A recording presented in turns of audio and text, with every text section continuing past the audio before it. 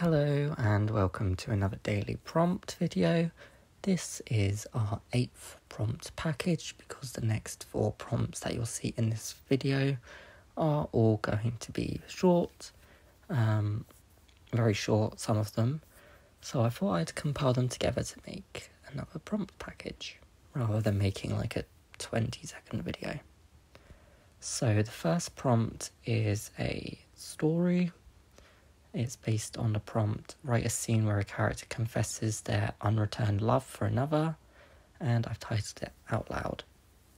He'd never been one to shy away from saying his feelings out loud, but that didn't stop him from hurting when he told him he still loved him before being thrown the divorce papers.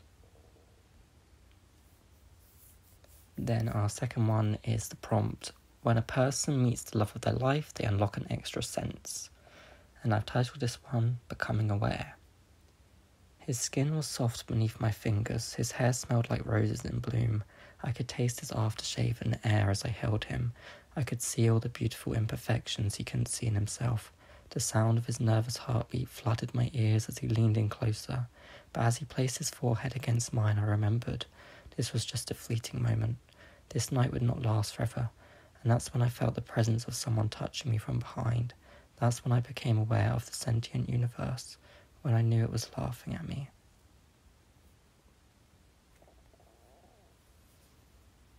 And the next one is based on a visual prompt, um, which is which you can't see, but it is an image of a lake with a um, with a pier on it and the prompt is The Lake, write a crime mystery or horror story about what happened at this location. So the location is a lake, and I've titled it Sleeping with the Fish. Lakes are well known for the bodies that dwell in them, and a body is what I expected to find when I was called onto this case. Five years I've been doing this job, and never in this time had my boss had the audacity to call me up to deal with a couple holding a net full of stolen fish.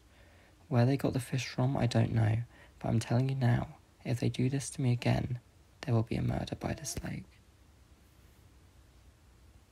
And our final short story is a little longer.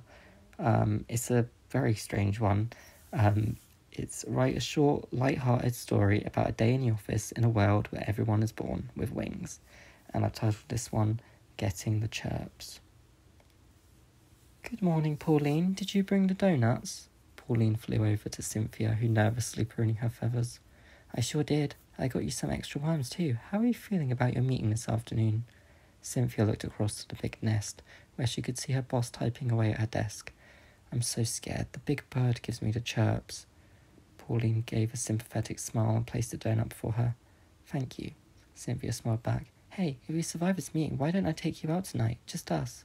Cynthia blushed at the idea. She'd always wanted to ask Pauline out on a date, but she always felt like it was the wrong time. Sure, Cynthia replied as Pauline flew off to greet the rest of her colleagues. The boss looked down at Cynthia from three feet in the air. Cynthia wasn't sure whether she should stay seated or hover up to meet her gaze. Cynthia, I have just one thing to say to you. Cynthia began pulling feathers out of her left wing.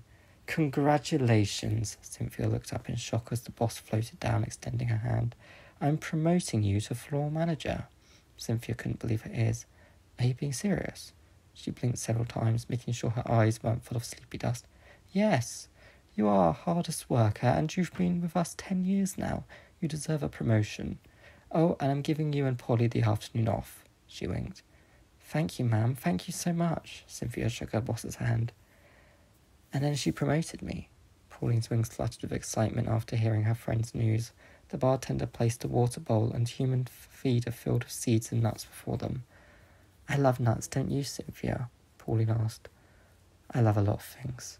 Realizing how that sounded, Cynthia covered her face with her wings in embarrassment. Pauline laughed in hysterics.